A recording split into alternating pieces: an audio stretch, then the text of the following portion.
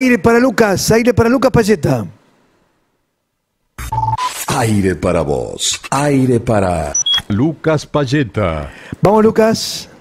Luis, buen día para vos, el saludo para los compañeros y la audiencia. Estamos ubicados nuevamente desde el lugar de los hechos. Estamos hablando de calle Aguado, entre Mendoza y el pasaje aquí en barrio Santa Rosa de Lima, donde hoy dialogaba junto a José Grael sobre lo ocurrido en este lugar. Este robo que se produjo en horas de la medianoche, donde se podían observar en imágenes un grupo de personas que violentaba eh, parte de una de las persianas de las distribuidoras de aquí del barrio e ingresaban al lugar. Y estamos con Edgardo, propietario de esta distribuidora. Bueno, Edgardo, ¿con qué te encontraste cuando llegaste? Primero, saludarte y, agradecerte por estos minutos con aire de Santa Fe.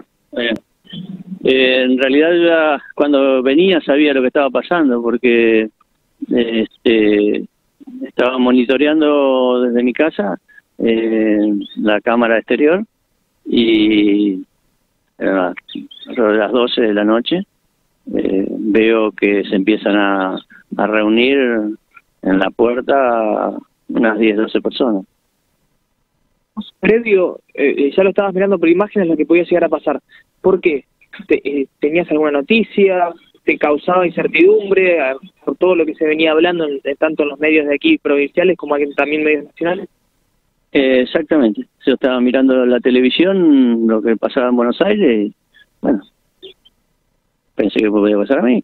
Y bueno, fue justo cuando prendo mi cámara, eh, veo el, hecho de esta gente que se acerca al negocio, empieza a tantear las puertas y después se juntan entre todos y levantan el portón eh, principal. Lo que hiciste fue llamar al 911, avisar.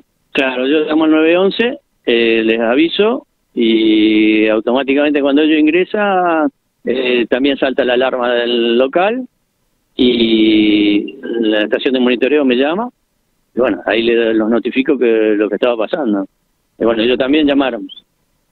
Eh, pero cuando llegó el 911 ya era tarde. No demoró más de 10, 12 segundos los hechos. Eh, entraron, se ve que había dos o tres personas que manejaban la cuestión. Una de ellas arrancó una computadora, tiró, desparramó todo el piso, mientras los otros eh, se llevaban las cajas de mercadería, toda, bebida alcohólica. Comentabas que no es la primera vez que te ocurrió. ¿Querés contarnos cuál, cuál fue la última vez que te había pasado? El anterior fue en el 2013, momento que fue la, la con, la policía, que estaban eh, de paro y había zonas liberadas. Y bueno, en esa oportunidad fue en horario del día, fue distinto. Nos avisaron porque ellos por WhatsApp armaban grupos con los vecinos en ese momento. Y bueno, uno de los vecinos clientes, bueno, nos dijo, mire, eh, va a pasar algo hoy a las 7. Bueno, nosotros cerramos el negocio y nos fuimos. Tratamos de, dejar todo eh, lo más protegido posible. Ahora, ¿qué, ¿qué, es lo que queda por hacer? ¿Solucionar el tema de la puerta? ¿Poner más seguridad? Eh, bueno, reforzar el portón, que es el que, el que estaba que, que, pudieron romper, porque era un portón pesadísimo.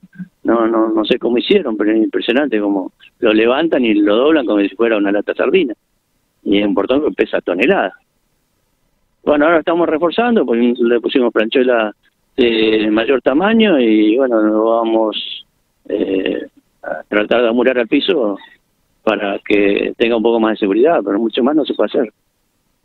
Luis, compañero, no sé si queda alguna consulta más, si no ya despedimos a Dame el nombre. Edgardo. Edgardo, te paso el, celular para que puedas escuchar, te va a saludar Luis Mino y todo el equipo de Grabe. Edgardo, buenos días. Tristes buenos días. Tristes. Digo porque, eh, ¿cómo lo calificás a esto? ¿Un robo o le das otro nombre? Eh, no, no te entendí, disculpa. La pregunta es, ¿Cómo calificás esta situación?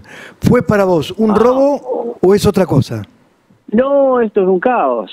Esto es un caos. Acá han aprovechado la oportunidad eh, cuatro o cinco vecinos nomás, pero había otros que aparentemente manejaban la cosa.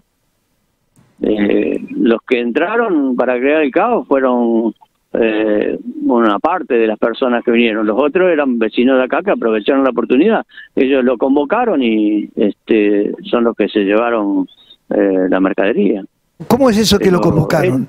¿Cómo podemos confirmar que los convocaron?